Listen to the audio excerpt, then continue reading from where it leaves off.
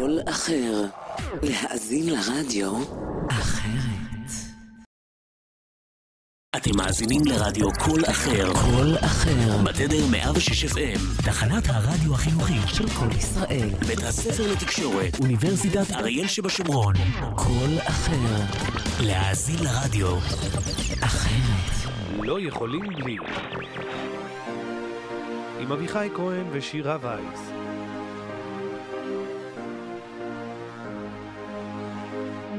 עורך התוכנית אלירן אוסטר.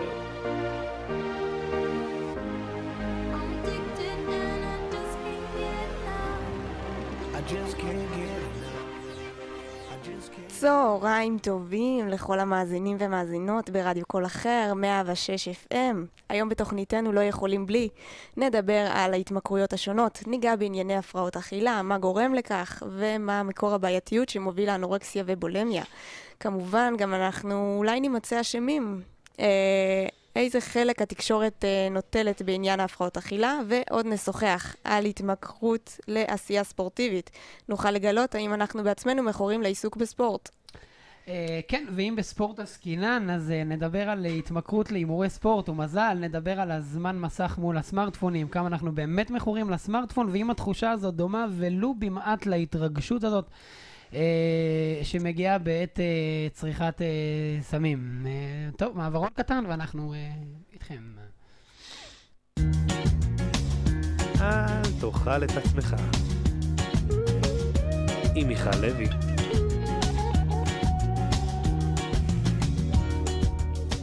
שלום מיכל.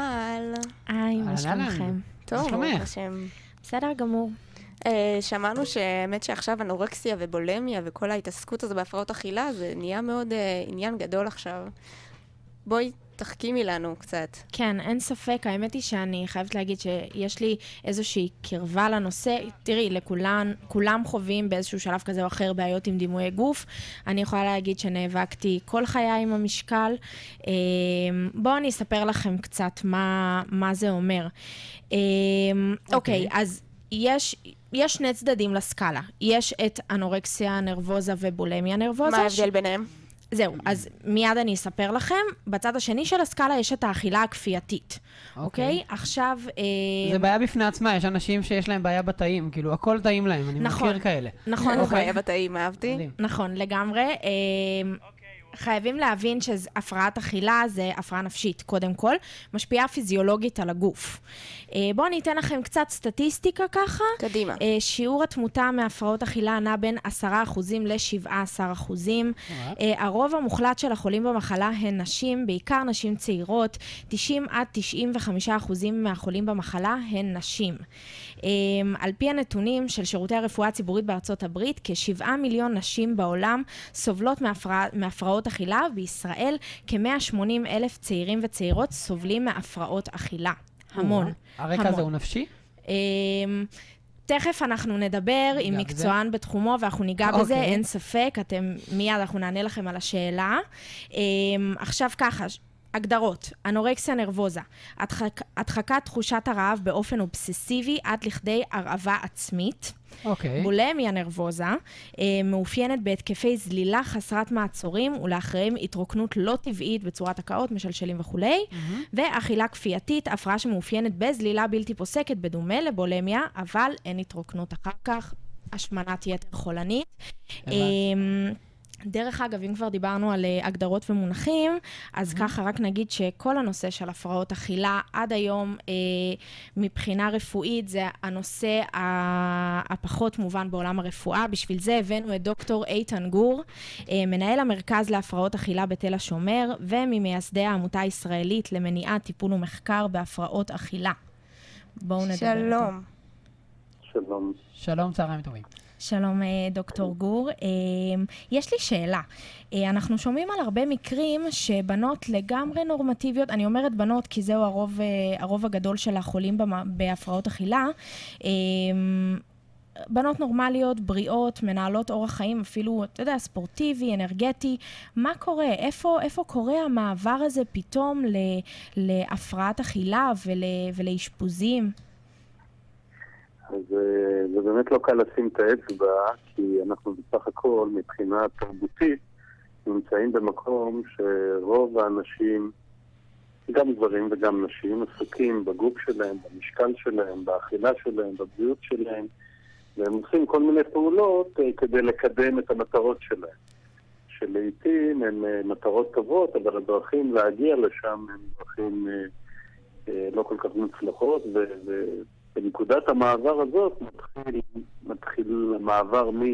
מהתנהגות נורמטיבית, שנקרא לה כי אין כמעט בחורה צעירה שלא עשתה דיאטה כזאת או אחרת, אה, להפרעת אכילה שבה, אה, ככה שמעתי ששאלתם אם בכלל הפרעה נפשית, אז כן, אה, הפרעת אכילה מקורה במצוקה נפשית.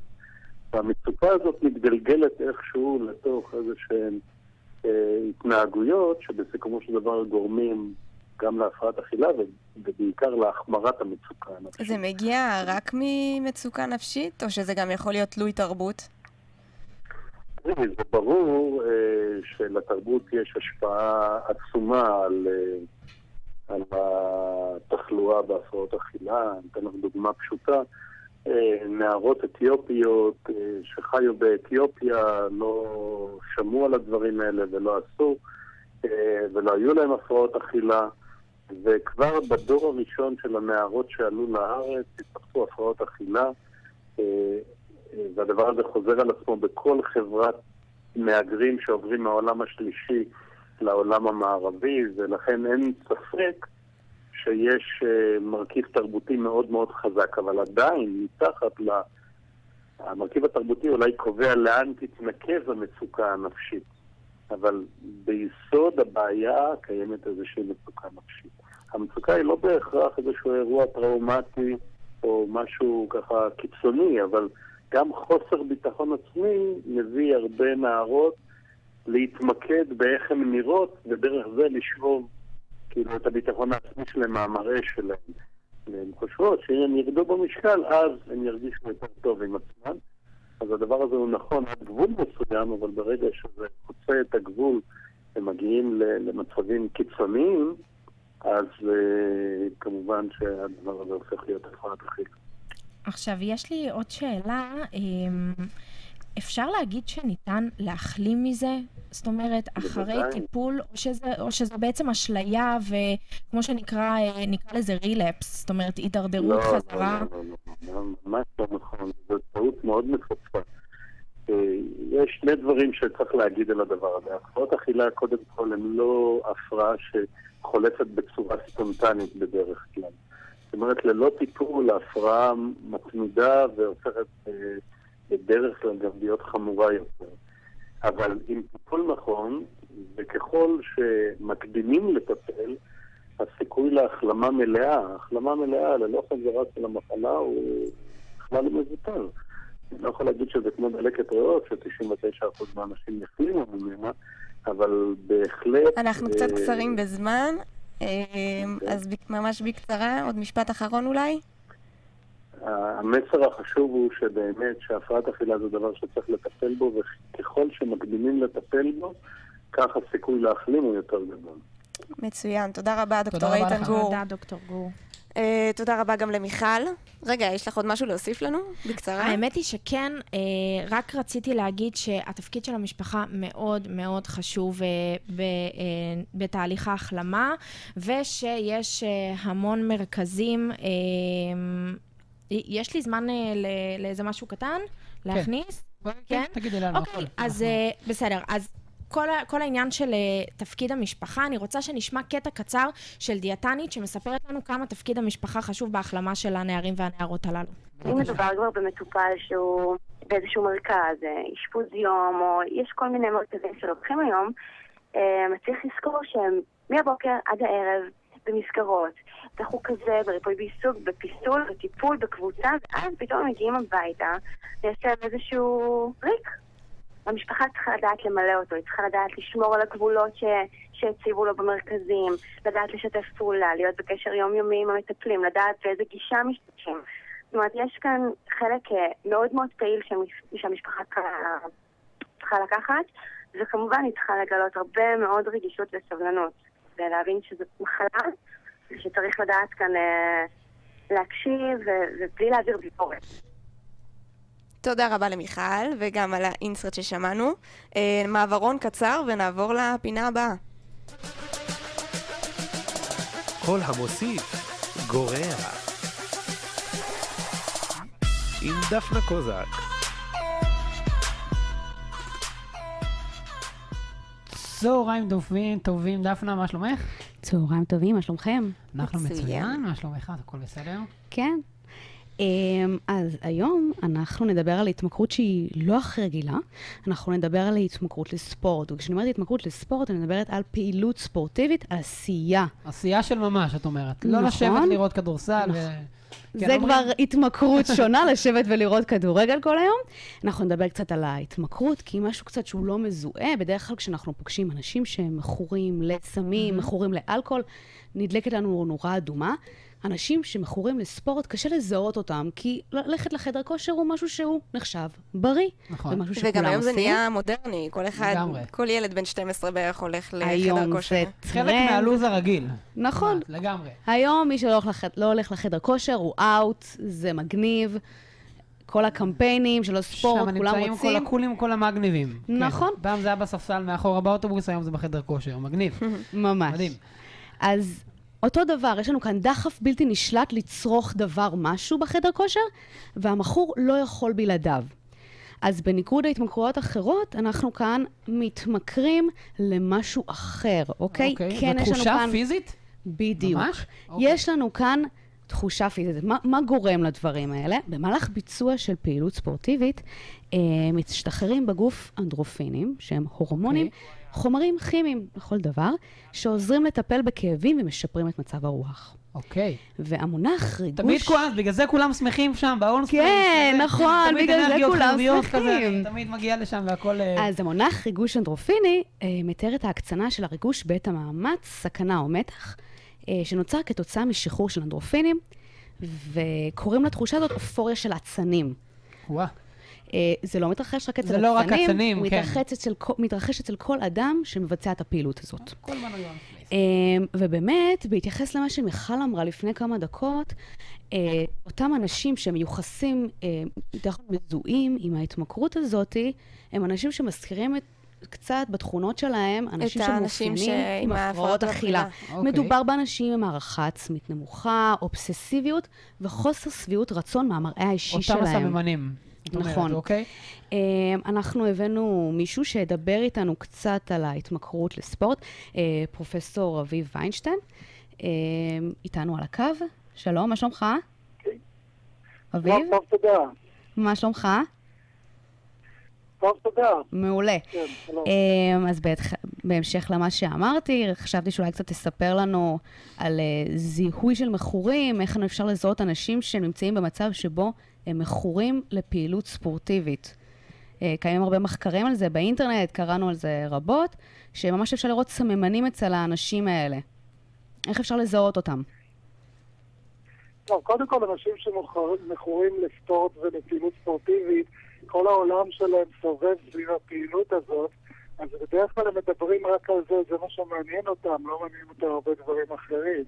אז יש פה מין התנהגות קצת אובססיבית. אה, דבר שני, מאפיינים נוספים זה שהם אה, משתמשים בפעילות הזאת כדי להרגיש יותר טוב, אה, להימנע הרבה פעמים מחרדה ומדיכאון, ורואים אצלהם גם שהפעילות הזאת באה על חשבון דברים אחרים, כמו פעילות חברתית. נוסף לזה, מבחינה גופנית רואים שאנשים אה, נהיים יותר ויותר כחושים. למשל רצי מרתון וריצות ארוכות, אנשים שמתעמלים הרבה, הרבה פעמים יורדים במשקל, אה, ורואים ש- רואים את זה בייחוד בחדר כושר בכל מיני קבוצות. אז יש לזה ביטויים גופניים, יש לזה ביטויים פסיכולוגיים, הם גם די כפייתיים בכל מה שקשור לפעילות הזאת. האם אנשים באמת יכולים לחיות בידיעה, כאילו, יכול להיות שהם באמת מכורים לספורט, אבל הם לא מודעים בזה בעצמם, כי הם כבר רגילים לזה, זה משהו שהוא נעשה כבר חלק מהשגרה שלהם. הרי זה לא התמכרות רגילה, אי אפשר תמיד לשים על זה את הדגש. אה, זה נכון, אה, בגלל שזו פעילות קבועה ורגילה, זה כבר כל כך טבעי אצלהם, ש... שהם לא מרגישים הרבה פעמים שהם מכורים, אבל יש כמה אינדיקציות. אחת זה למשל פציעות. אנשים שמכורים לספורט ממשיכים בפעילות גופנית למרות שהם נפצעים. אני מכיר אנשים שלפני ריצות אפילו קוראים איזה אה, גיד או משהו כזה, מחלימים די מהר וממשיכים לרוץ. יש לזה גם מחיר חברתי, כי הם אה, מזניחים פעילויות חברתיות אחרות. קשה להתעלם מההשלכות של זה. הם פשוט מצדיקים את זה ואומרים שכיוון שהם כל כך עסוקים בספורט, זה הדבר הכי חשוב בחיים שלהם, אז הם מוכנים לשלם את המחיר. ואיך נעשה תהליך הגמילה בעצם? איך אפשר באמת להיגמל מפעילות ספורטיבית, שהוא משהו שהוא חיוני לבריאות בעצם? אני לא יודע אם גמילה זה המיל- זו המילה הנכונה. אני חושב שמה שיותר מתאים זה אולי לשנות קצת את הפעילות בצורה יותר מאוזנת. אז אם היא מופרזת, פשוט להקטין קצת באינטנסיביות שלה, אולי לעבור לסוגי ספורט שהם פחות תחרותיים ופחות ממכרים, אבל אה, זה כמו להגיד לאדם שיפסיק לאכול. אה, ל- מסיבות כלשהן. הספורטאים צריכים את זה, האלה שמכורים לספורט צריכים את הפעילות הזאת. אז לא נראה לי שהם יפסיקו לגמרי, אבל הם צריכים למתן אותה או לשנות אותה. הבנתי. טוב, תודה רבה, פרופסור אביב ויינשטיין, אנחנו מודים לך. אה, זהו, חברים, אז אה, שמענו את מה שהיה. האמת היה מקסים. כן, היה מקסים. אה, תודה רבה אה, לך, אה, דפנה, וגם אה, לפרופסור אה, אביב אה, ויינשטיין, שדיבר איתנו ככה אה, באופן מפתיע על אנשים שהם לא מרגישים בכלל שהם מכורים. תודה רבה לכם. ואני נרגעתי גם לראות שאני לא בין אה, נמני העשייה הספורטיבית האובססיבית הזאת של אה, כל הדברים האלה. נעבור למעברון קצר ונחזור. מיוזיקול מארחת את המחברת. מיוזיקול מארחת את המחברת. עם רחל בן סנדר ושרית נגר. רק ברדיו קול אחר. 106 FM. הרדיו הוויזואלי הראשון בישראל. שמים על השולחן.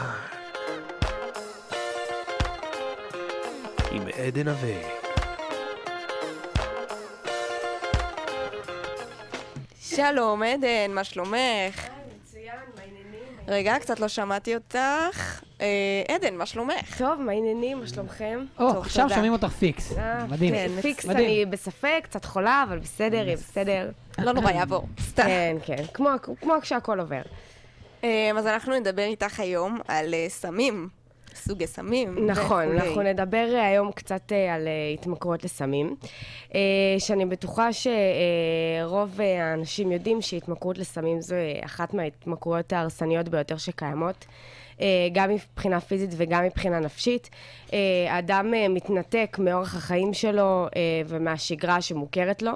אה, יש גם לא מעט סרטים וסדרות, יש את אחד מהסרטים המפורסמים ביותר, נקרא רקביעם לחלום. אה, זה היה בשנת 2000, אם לא ראיתם, אה, מומלץ מאוד, ששם... סרט ב- מקסים, כן. נכון. מומלץ לכל נפש. כמעט לכל נפש. כמעט, כמעט, כן, לא כן. לכולם, נכון. זה סרט אה, קשוח, קשוח, אבל אה, שם בהחלט אפשר אה, לראות אה, מה קורה לכל מי שצורך בעצם את ה... את הסמים. אה, אז זהו, אז אה, כמובן שיש כל מיני סוגי סמים, יש סוגים, אה, יש אה, סמים ממריצים, סמים מרגיעים יותר, סמי הזיה, סמים מעוררים, לא חסר. נרקוטים. לא חסר, לא חסר. הסמים פוגעים ב... ב... סליחה. הם פוגעים בכושר התפקוד השכלי של המכור, איך שהוא תופס את הסביבה, אה, הם פוגעים אה, במערכת העצבים המרכזית, גורמים להקאה, נטייה להירדם, בתפקוד המיני, הזעת יתר. אה, ועוד משהו שאנשים לא ידעו, זה שאנשים לא יודעים בדרך כלל, סליחה, זה שגיל ההתבגרות, אוקיי? נערים מושפעים יותר במהירות? מהסביבה אהה, החברתית אוקיי. שלהם להידרדר לסמים, מאשר בנות שהן בעצם מושפעות אה, אה, על ידי הגורם הגנטי. אה, מה, ממש גנטיקה כאילו? אם כן. אחד ההורים מכור, אז גם... ה- אמ, זה כן, בעיקר, בעיקר בגלל זה. אה, ואם כבר אנחנו מדברים על גנטיקה, אז אה, איתי על הקו אה, אה, נמצא דוקטור אה, אנדרה וייסמן, שהוא מנהל יחידת גמילה בבית חולים ברזילאי. אה, אנדרה, דוקטור אה, וייסמן, מה שלומך? בסדר גמור. אמ, מה שהתחלתי לספר פה זה על ההתמכרות לסמים, אבל אה, מה שעוד לא נגעתי זה בעצם הגמילה אה, מהסמים, שיש את הגמילה, אה, מה שכולם מכירים, שלוקחת תקופה מסוימת, שיש קריזה תוך כדי, ויש שיטה שאתה פיתחת. בואו תספר לנו קצת על השיטה הזו. בעצם זה לא שיטה, בעצם מה שנכנסתי לתחום זה המרכיב הרפואי שהיה חסר כל כך הרבה שנים, כי בעצם לא חשוב למה אדם נגע בסם, ברגע שהסם מגיע למוח פעם ועוד פעם ועוד פעם, הוא יוצר שינויים אה, ביולוגיים ממש, רפואיים, ואז נוצרת תלות. ואני מטפל בשורש של הבעיה. אה, לעבור קריז זה לא, זה לא גמילה, זה לא להבריא, זה לא להחזיר בן אדם כמו שהוא היה לפני. אה, זה מרכיב אחד שהוא נעלם ברגע שהוא עובר את הקריז, אבל נשאר אצלו דחף, והדחף הוא ביטוי פסיכולוגי לבעיה רפואי נטו. זה כמו שבן אדם שיש אה, לו ארבע קיבות והוא רעב כל הזמן. אז הבעיה זה לא הפסיכולוגיה, זה שיש לו קיבות מאותרות. ברגע שאתה לוקח סם לאורך זמן, המוח יודעת לפתח רספטורים חדשים כדי לקלוט את הסם. וכל פעם המוח מפתחת עוד רספטורים, לכן גם הצריכה עולה, כי פתאום בן אדם מרגיש שהכמות שהוא זקוק זה יותר ממה שהוא היה זקוק לפני חודשיים. ובעצם מתים ברגע שמגיעים ליום שהכמות שהוא חושב שהוא צריך זה הכמות שיהרוג אותו, כי מבחינת המוח, המוח מסוגל לקלוט המון והגוף, הלב ומערכות אחרות כבר לא. אז הטיפול שאני עושה זה טיפול רפואי נטו, שאני מאשפז בן אדם בבית חולים, הוא עובר תהליך של הרדמה כללי במשך 4-5 שעות. במהלך ההרדמה אני מפנה את הרספטורים עם תרופות מהנרקוטיקה, אז במקום הליך של גמילה של שבוע, שבועיים או מה שלא יהיה, בוא נגיד שבתוך שעה, שעה וחצי המוח נהיה נקי לגמרי מה, מה, מהסמים, ואז בזה אני עושה טריגר של הגמילה. אבל הגמילה, במקום שתהיה עשרה ימים או שבועיים, הכל מתרחש בני חמש שעות. ואז אני ממתן ומווסת את הסימפטומים ומאפשר לבן אדם לעבור את זה בצורה אנושית ובטוחה. כאשר ברגע שהוא מתעורר מהטיפול, גם בזה שחסמת את הרספטורים המאותרים, אז אין לו דחף. אז היום מה שמנסים לעשות וללמד אנשים לחיות מחדש וכל הטיפולים הקיימים אה, לאחר הגמילה של שנת, שנה, שנתיים, שלוש שנים, עיני אה, שמנסים לתת לבני אדם כוחות להתגבר על הדחף, אני פשוט מסיר את הדחף ברמה הביולוגית, ואז בן אדם פנוי עם כל האנרגיות שלו כדי לחזור לחיים רגילים. הבנתי. ומה הם אחוזי ההצלחה של הגמילה הזו? תראי, שוב, הטיפול, אה, מה שאני עושה בבית חולים הוא 100%, כי כל חולה, כל חולה יוצא אה, בלי התלות, חופשי מהתלות. עכשיו, אני מטפל באנשים שהיו בסם 20 שנה. ואז uh, ליצור שיקום חברתי, שיקום אישי, ביטחון עצמי, כבוד עצמי, הבנתי. זה כבר סיפורים אחרים, לכן אי כן. אפשר למדוד אחוז הצלחה של הטיפול. על מה שקורה לאדם שעסק בפשע או בזנות עשרות שנים ולא מצליח להשתלב לחברה, ואז חוזר לסם. אבל בוא נגיד שאחוזי הצלחה... תודה רבה, דוקטור אנדרי וייסמן. אה, אנחנו פשוט ממש קצרים בזמן, אז אני מתנצלת. תודה לא, רבה. בסדר גמור. תודה. תודה לך. Uh, תודה רבה גם לעדן שהייתה איתנו. תודה רבה. Uh, מעברון קצר, נכון? יש לנו מעברון קצרצר ונחזור. מחוברים עם מתן בן ארוש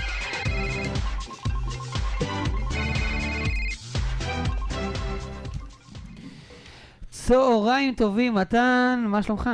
שלום שירה, שלום אביחי. שלום, שלום. מה שלומכם? טוב, ברוך השם. בוא אה, תשפיט אותנו באיזה עניינים סלולריים, התמכרויות למסכים קטנים. אה, כן, כן, בתור מכור, אז אני יכול להרשות לעצמי לדבר על זה. כולנו, כולנו. אין מישהו שלא מכור. לא פוסח על אף אחד, אני מבטיח לך. אה, כמעט, כמעט. חוץ מהטלפון עם הקשיר. גם זה מכורים לזה. גם. אני אדבר על נושא שהוא באמת נפוץ בשנים האחרונות, זה כמו שהצגנו את זה, זה ההתמכרויות לסמארטפונים, ניו מדיה. אה, אפשר לראות באמת שעם כניסת הסמארטפונים לחיינו, אז uh, האנשים כל הזמן עם הראש למסך. הפך להיות חלק אינטגרלי, זה... שאני אדגים פה. לגמרי. Uh, אני באמת גם מגדיר את עצמי כמכור לזה, כמו שציינתי. אני גם, אם אתה לוקח לי את הסמארטפון, אני מפסיק, מפסיק לנשום בו ברגע. אז כאילו. באמת, זה, זה, יש כאילו באמת נתון שאני מביא לכם פה. מחקר שעשתה חברת נוקיה מראה שהאדם הממוצע מסתכל בסמארטפון שלו כל 6 דקות, ועושה זאת כ-150 פעם ביום. האמת שאני מופתע. 150. האמת שאני מופתע. אני עושה את כל- זה יותר, אבל. זהו. כל שש רציתי אני דקות. עושה את זה להגיד את זה יותר. ופחות משש דקות. לדע- לדעתי זה ממוצע של עשר שניות, אני לא יודע, התפקשש להם שם איזה... אה. כן, תכלס, אני אני אגיד לכם, האישית, כאילו, העניין באמת קצת חורה לי, אבל מה שאפשר לציין שהדור שלנו, למשל, לא לא חווה את הקטע של ההתמכרות הזאת בגיל מוקדם. היה לנו ילדות, והיה לנו, כאילו, את נכון, הקטע של היה לנו המשחקים. משחקי היום חול, ילדים- היה לנו, היום אה, ילדים נכון. מגיל 4-5 כבר מתחילים לשחק בזה. אבל ברשותכם, אני רוצה לצרף לשידור את אה, דוקטור אה, חננאל רוזנברג, מרצה מאוניברסיטת אריאל, חוקר טכנולוגיית מדיה חדשים והשימוש בטלפון סלולרי והשלכותיו. אה, חשוב לציין שהוא דוקטור. דוקטור כן, כן, חננאל כן, רוזנברג. אמרתי, אמרתי, אמרתי. לא הורדתי, לא הורדתי נתן ממנו את כלום. הכבוד הראוי. אז הוא איתנו?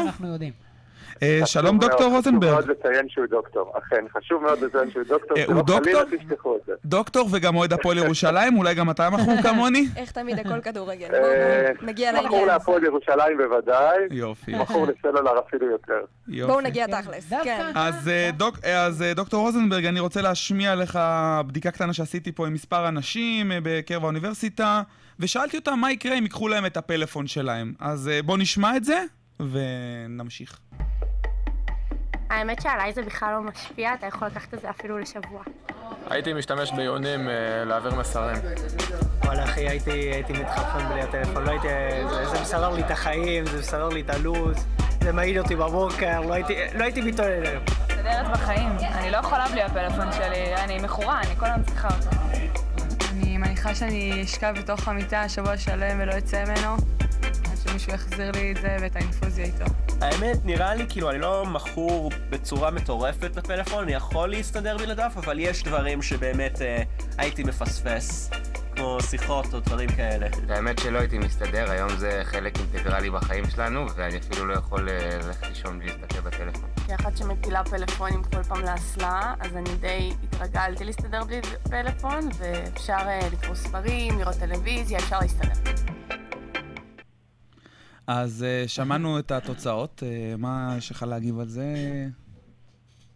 חננאל? אה, כן, אה, לפני שנה בערך החלטתי שצריך לבדוק את זה פשוט. לבדוק את זה, כי בגלל שאנשים אומרים זה מפריע לי, זה לא מפריע לי.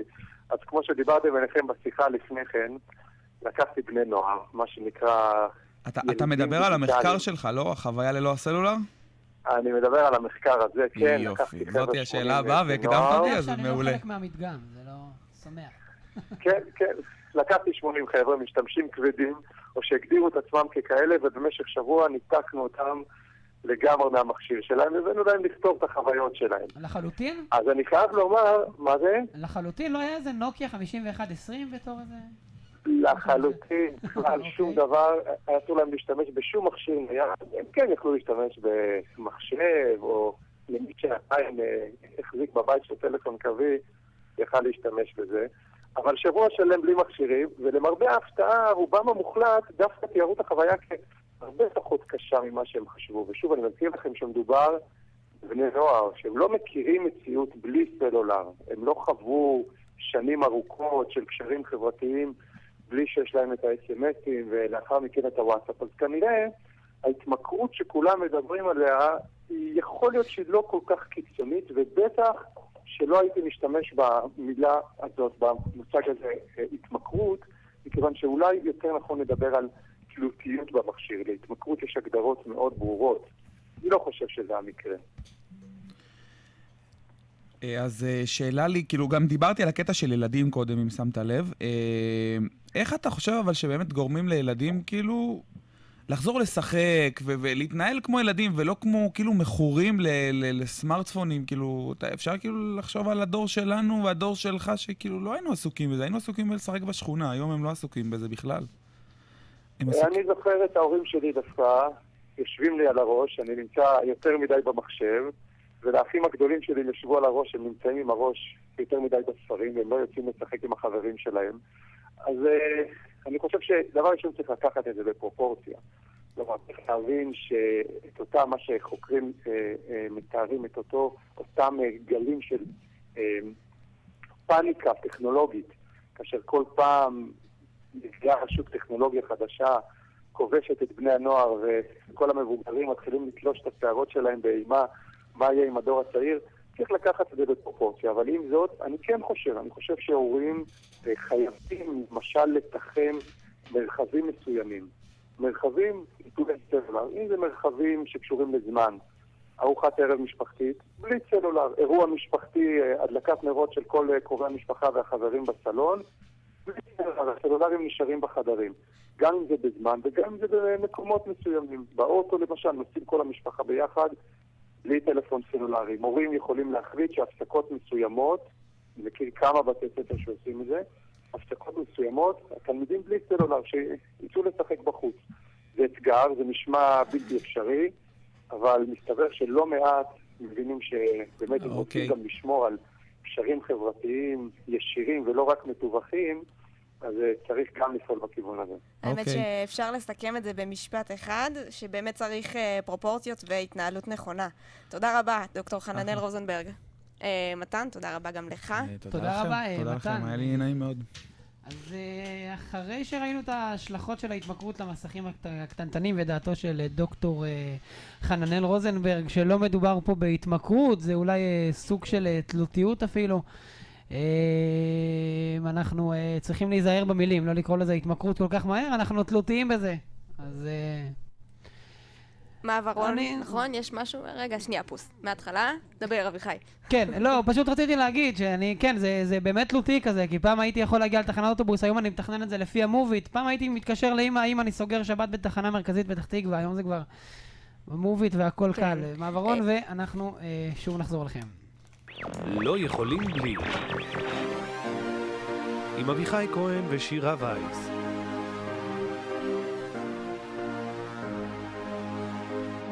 עורך התוכנית אלירן אוסטר.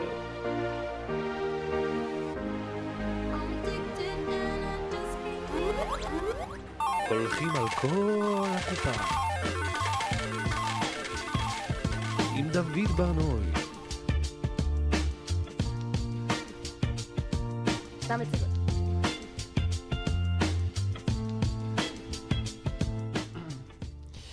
צהריים טובים לדוד. צהריים טובים. מה שלומך, דוד? בסדר, בואנה, אני ממש אהבתי את המעברון עם כן, ה slot machine. מביא לנו איזה מקצב כזה מגניב. כן, האמת שזה היה. והכניס אותנו זכות כזה פה הטכנאית. שלנו. זה היה ממש מגניב, וכמו ששמענו את ה slot machine קצת היום, אנחנו נדבר על אה, הימורים.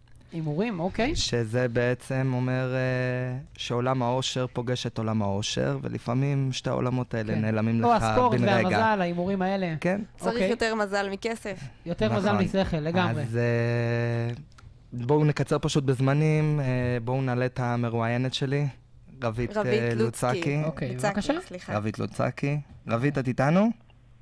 כן, היי. היי, מה? נשמע? מה שלומך? בסדר, מה איתכם? אה, בסדר גמור. אז אנחנו היום, יש לנו פינה שעוסקת בהתמכרות על הימורים, ויש לנו גם זמן קצר, אז אני פשוט אתחיל בשאלות. אה, את זוכרת את הפעם הראשונה שנחשפת להימורים? אמ, כן, אז קודם כל הפעם הראשונה הייתה אה, כשהלכתי עם אה, חברה לקניון. אמרנו נעשה ככה שופינג בכיף, ועמד שם בעמדה של ה- הפיס, בחור נאה, הוא קרא לי, אה, בעצם ניסה להתחיל איתי.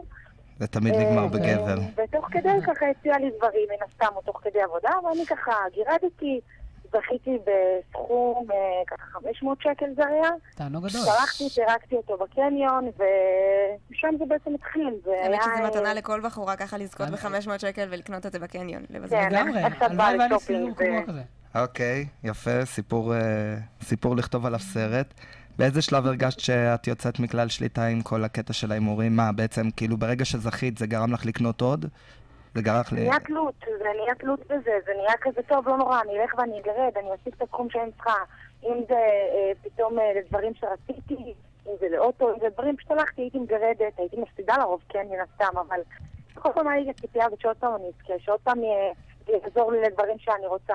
כאילו לא תליתי את המטרות שלי ב- בזה שאני אלך ואני אעבוד ויהיה לי משכורת, תליתי את זה ב- במזל בעצם, בהימורים. והחבר'ה שהיו סביבך שמו לב שמשהו קורה לך, שאת אה, כבר לא אותה רבית? תראה, ברמה, ברמה של החברים שלי, אז כן, הם, אה, הם אה, הרבה איתי, אז מן הסתם הם צריכים לשים לב, וגם הייתי כזה קצת מתנהגת מוזר. היום בדיעבד אני יודעת להגיד לך את זה. הייתי מתנהגת קצת מוזר, הייתי... כאילו, עם חברות שלי בעיקר, והם שמו לב לזה. עכשיו, אה, בגלל שכאילו חברות שלי הם אלה ששמו לב לזה בעיקר, הלכו ועשו את הצעד קדימה ואמרו את זה להורים שלי. אה, כל אה, הזמן הזה מי שהיה נותן לי את הכסף ללכת לזה, זה היה, אבא, אני צריכה כסף לפה ושם, אני צריכה כסף לזה, וזה בעצם כל זה היה הולך להימורים. הבנתי. אז ב- בסופו של דבר ההורים שלך גילו את זה, ומה, לקחו אותך לטיפול? החברים שלי לקחו אותי ובעצם אמרו את זה להורים שלי, אה, ואז ההורים שלי באמת לקחו אותי לטיפול אצל אה, פסיכולוג מדהים, אה, הוציא אותי מזה לגמרי. אוקיי, יפה. אז אנחנו פשוט קצרים בזמן, הייתי שמח להמשיך לשוחח איתך על זה. שאלה אחרונה, אה, יש משהו שאת מצטערת עליו? אני מצטערת על הפעם הראשונה שגירדתי את הכרטיס חיסגד הראשון שלי. אוקיי, טוב, תודה תודה רבה. לך, רבית. תודה רבה, רבית. דוד, אה, ב- תתן לנו עוד משפט קצר על התמכרות. אז זהו, רק ל- שתשימו לב מה קורה היום במדינה שלנו. בשנת 2014 הימורי הספורט הכניסו ב- במדינה 2.6 מיליארד, מתוכם חולקו פרסים בגודל של 1.7 מיליארד, מה שמשאיר אותנו עם 900 מיליון שקל. ואותם 900 מיליון שקל זה 900 מיליון שקל שאנשים כמוני כמוך הפסידו מהכיס שלהם לטובת אה, גוף בסדר, גדול. המיליונים האלה להימורי הספורט בישראל זה כבר בסדר, זה לבניית אצטדיונים בניית. אצטדיונים, רק מה קורה שאתה... בעד. אביבה מהבן קוראת לך, אני לא יודע. באיזשהו מקום. כן, אנחנו נחכה שלא יקרה איזה טלפון מהבנק. אה, תודה רבה, תודה רבה דוד. לך, דוד, תודה רבה.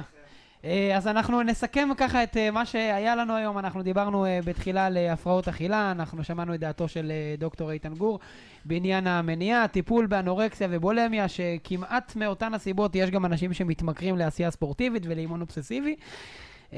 דיברנו גם עם פרופסור אבי ויינשטיין, שהוא מומחה קליני להתמכרויות, בעניין ההתמכרויות לסמים. שוחחנו עם דוקטור אנדרי וייסמן על כל תהליך הגמילה מסמים ועל השיטתיות הייחודית לו שהוא פיתח. אה, הדברים האלה לעיתים נמצאים לא פחות מרגשים מהימורי הספורט והמזל, כפי שראינו, וכמו ששמענו הרגע את סיפורה של רבית לוצקי בעניין הזה. אה, וכמובן, איך אפשר, אה, מבלי לגוע בהתמכרות, אה, שצריך קצת להיזהר במילים, בשימוש המוגזם אולי של הסמארטפון, של הסמארטפונים. שהפך לחלק האינטגרלי, חלק מגופנו ונפשנו, יש לומר, ושמענו גם את דעתו של דוקטור חננאל רוזנברג בעניין, שיש להיזהר במילים, אנחנו לא מכורים, אנחנו עוד לא, אנחנו לפני, אז בואו תמיד נירגע. התוכניות האלה נגמרות אה, ממש... אה, אנחנו עוד אופטימיים. חשבתי שאני מכור, אז הוא בא והרגיע אותי כזה. כן. אה, מקסים, תודה רבה לכתבים המקסימים שלנו, מיכל לוי, דפנה קוזק, עדן נווה, מתן בן ארוש ו... דוד בר ברנוי. נוי. תודה רבה לטכנאית השידור שלנו, לירן גורלי, למפיקים, אוריאל בארי וספיר סולומון, לעורך לעורך שלנו, אה, אלירן אוסטר. אה, אה, אנחנו היינו אביחי ושירה, ונתראה בשבוע הבא. אתם מאזינים לרדיו קול אחר, 106 FM. להאזין לרדיו אחרת.